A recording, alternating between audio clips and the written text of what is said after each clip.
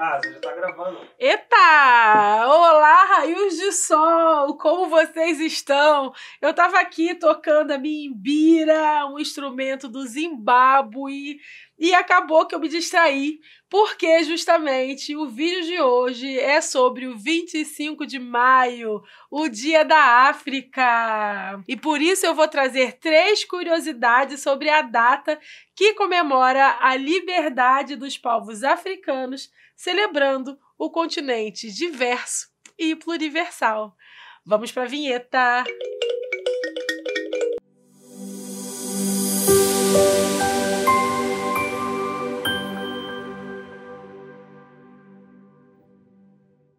Então, deixando de lado um pouco a Imbira, vamos falar o fato número um. Por que então se comemora o Dia da África? Bom, no dia 25 de maio, comemora-se este dia, um dia destinado ao continente africano, e foi criado justamente em 1963 pela Organização da Unidade Africana, OUA, com o objetivo, claro, de emancipar o continente africano, porque a gente tem que lembrar que nessa época o continente africano ainda sofria com o colonialismo europeu. E aí, logo em seguida, já em 1972, a data passa a ser estabelecida pela ONU como uma data celebrada no mundo inteiro. Então, se torna uma data do calendário internacional da ONU. Então, esse dia, o Dia da África, ele passa a ser conhecido como um dia da libertação africana. E é efetivamente um momento para a gente recordar das lutas pela independência do continente contra a colonização europeia, mas também contra o apartheid. E essa data, esse símbolo, ele traz a ideia de um continente unificado. E você sabia que o Dia da África foi inspirado na independência de Gana?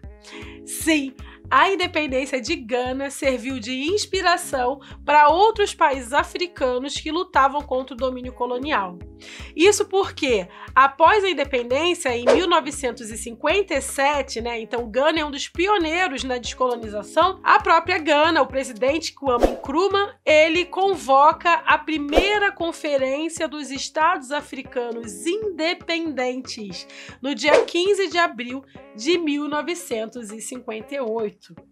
E o objetivo dessa conferência foi criar uma plataforma coletiva para uma afirmação explícita da rejeição de África ao domínio colonial e imperialista no continente. E esse encontro é considerado a primeira conferência pan-africana de libertação a ser realizada no continente, reunindo vários países africanos, em busca justamente de autonomia.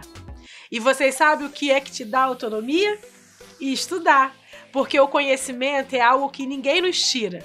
Por isso, te convido a vir estudar comigo no grupo de estudos na plataforma Apoia-se. Todo mês nos encontramos para discutir sobre filosofia, amor, vida. E se você não quer estudar comigo, mas está afim de ajudar a manter esse canal, te convido a conhecer o nosso Seja Membros aqui na plataforma do YouTube, nesse botãozinho aqui embaixo do vídeo. Lembrando sempre que a sua contribuição acende sóis. Então, vamos ao fato número 3. Como é celebrado o Dia da África? A cada ano, uma série de diferentes iniciativas, celebrações e comemorações estão sendo realizadas em toda a África e no resto do mundo, marcando a relevância do Dia da África nas nossas vidas até o dia de hoje. A ideia é mostrar a riqueza e diversidade cultural e histórica de países africanos pela ótica de quem veio de lá, né? E também celebrar a liberdade. Isso da ótica é muito importante. São os africanos falando sobre eles mesmos e sobre o continente africano. Tem alguns anos que eu comemoro também o Dia da África e eu faço isso num evento celebrativo organizado pelo Laboratório de Estudos Africanos, que eu coordeno, o LEPECAD, lá na PUC, mas também eu participo de outras celebrações não acadêmicas, principalmente envolvendo os meus irmãos do continente africano que moram no Brasil. Então procure também uma celebração para o Dia da África nesse 25 de maio. E eu fico muito feliz que você chegou até aqui. Deixa aquele like maroto e me diz se você já conhecia o Dia da África. E também me conta se você vai celebrar, vai comemorar a África nesse dia. Lembrando sempre que falar do continente mãe positivamente para as nossas crianças é essencial para que elas cresçam sabendo que não são descendentes de escravos, mas sim são descendentes de um continente forte, rico e independente. E aproveita e se inscreve aqui nesse canal ou assista esse vídeo lá na Cutne TV, meus parceiros da Cutne. E como sempre, lembrar que nós somos sóis vivos e que o brilho desse sol é inegociável. Kioya Tionan. Tchau, tchau!